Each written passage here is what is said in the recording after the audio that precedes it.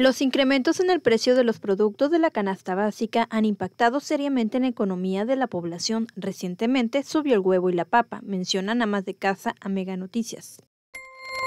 Pues huevo, el huevo, este, la papa está bien cara, pues todo está caro.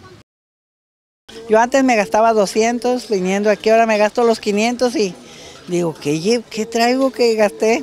Pues todo lo que es frutas, verduras, la, la carne, el huevo, no se diga. Pues mira, mija, todo en general, todo en general. Lo bueno que usan mucho la soya. Mira, ayer hice enchiladas de soya. Y riquísimos están. Hay que saberlas hacer. Entomatados de soya. Esta situación los ha obligado a modificar sus compras, es decir, si antes compraban por kilos, ahora lo hacen por piezas, además de ajustar las finanzas en el hogar, pues ya los sueldos no les alcanzan.